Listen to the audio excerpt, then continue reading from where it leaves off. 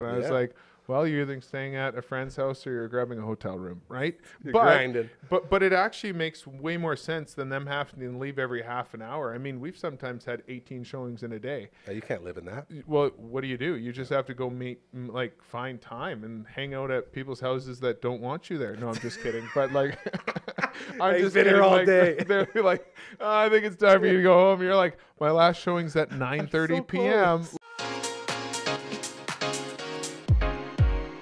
Hello and welcome to another episode of the Bamford and Co. podcast. My name is Gary and I am here with my good buddy Gregg. Hello, brother. Good to see you again. Nice to see you, Gary. See that? And then look at that switch. That's the magic of TV. So, if you haven't seen one of these before, they're probably the most entertaining podcast in the history of real estate. And I say that because I actually am entertained and informed every time I watch. Thanks, buddy. I So really appreciate it. Maybe my humble opinion, but and maybe a little bit biased. You are still, a little biased. If, if I have to watch one, if I, that's true. we go deep. Yeah, but the- the Bobcat blood goes deep.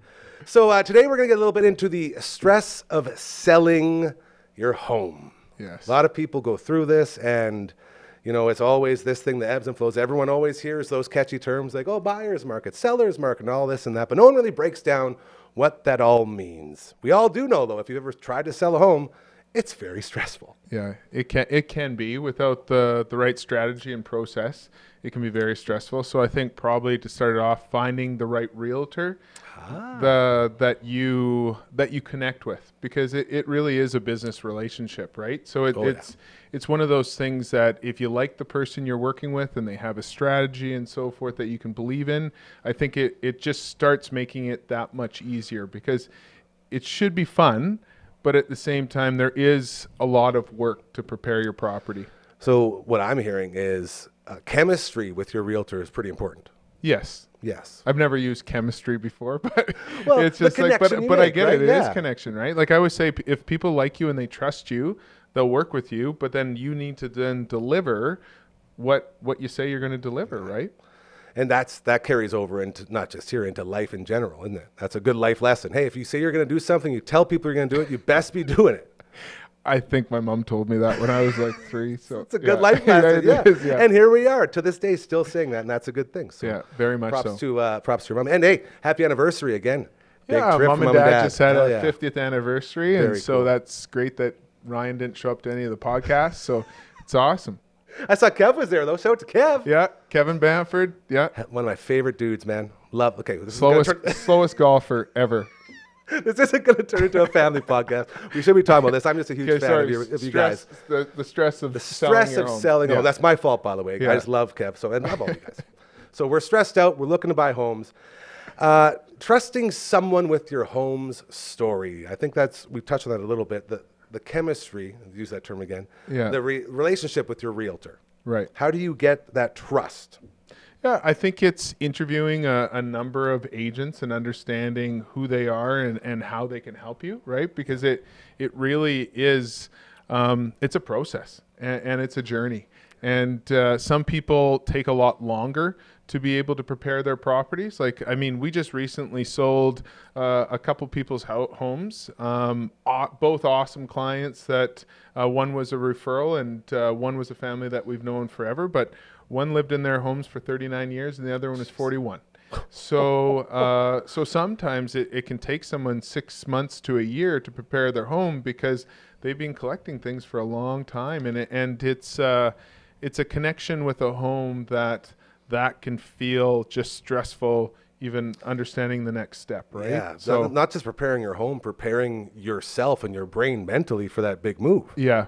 It uh, and so we're there to try to make it easier for them um, because it, it it it's still hard. It doesn't matter, right? Like I mean, my like I live in my grandparents' house, right? Like I say, don't become emotional involved with with a home and Do as we say, not as we Mr. do. Sentimental here, right? So it doesn't even.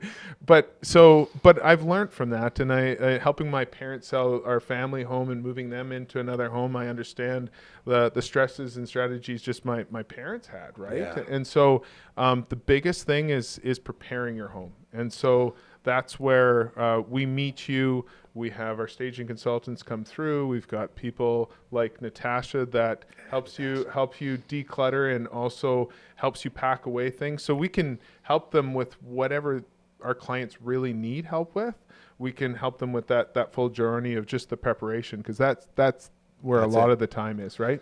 Absolutely. So you get you get to that point, and then there's the whole, you know, the vulnerability of showing off your place, letting the world know, like, like this is this is how I live. This is my home. Come in here and totally don't judge me, please. Like Yeah, that sort for- of ugh. Well, for sure. So if if you go into a builder's show home, Oh. um, what what they usually have is they have um, not a lot of furniture. Uh, they don't have personal pictures of all their employees sitting on the refrigerator or so forth, right? Yeah. They make it as clean as possible, and there's no outrageous colors. And, and so a lot of times, It's just I, I, I picture the times that I have done exactly this, and you're going through the house, and then you see all like the, the chips out of the wall, and you see like the markers written underneath where the you know the chairs are hiding this and that, and all those sort of Yeah. they're like openings of your soul.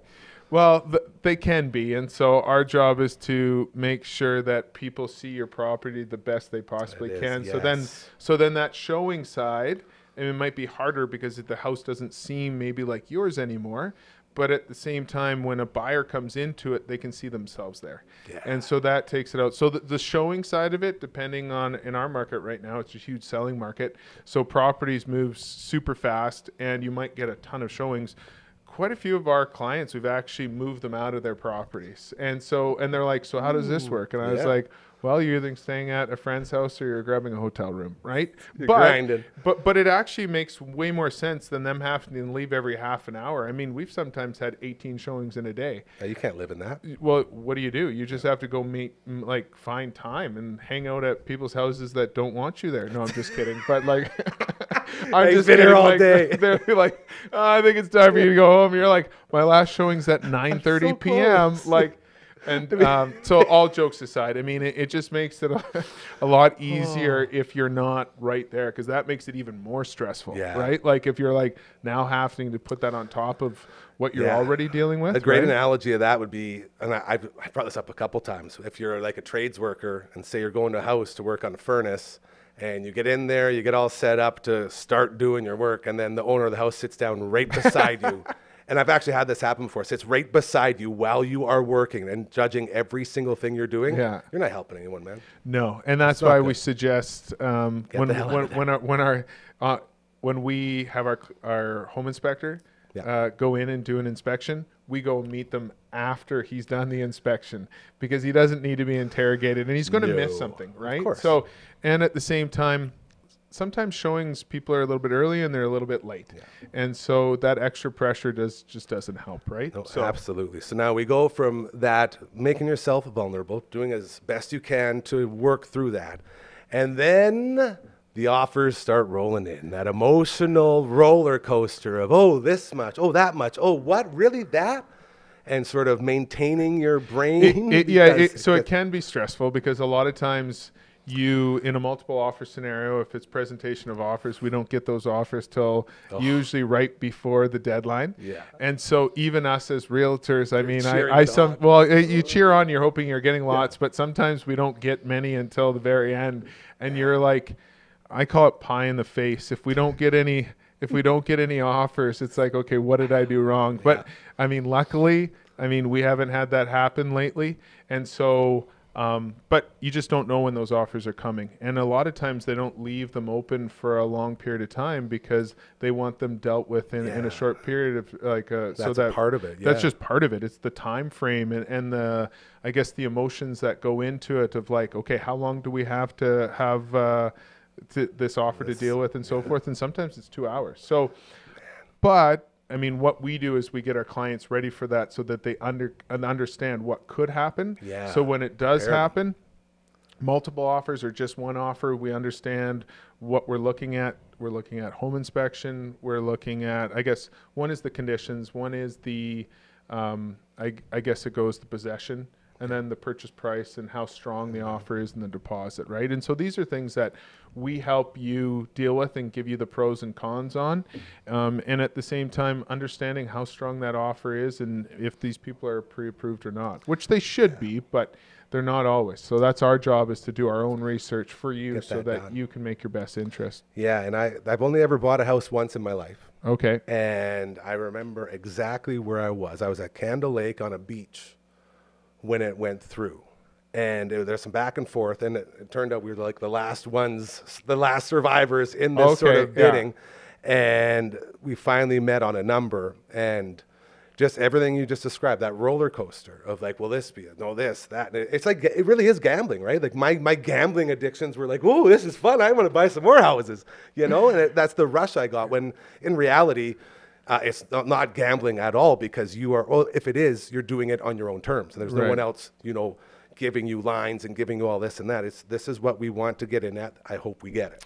Yeah, on the selling side, you have a lot more control than on the buying side. Yeah. Right. So the selling side is that, especially in the seller's market, we make the rules. Yeah. So it's this is what the possession date we want, and then depending on the timeline of of the your property being on the market, I mean, we might be negotiable, we might not be, but a lot of times things, if it's priced right, could be selling for for way over. And that's where the entire experience starts too, is with the setup for sale. Right. So you're setting all the groundwork for what's about to happen. For sure. So it's for timeline possession. Possession's probably your major one because it's like, what are you moving into? Where are you going? How What long do we need? then? Right. Yeah, so for those sure. are big factors. So the possession date, um, how does that look like? What's included in the property?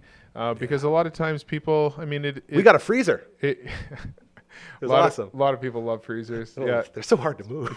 They're very hard. I actually have one as a deep freeze in we my yeah. I might need one. I use it as a cold plunge now, so it's great.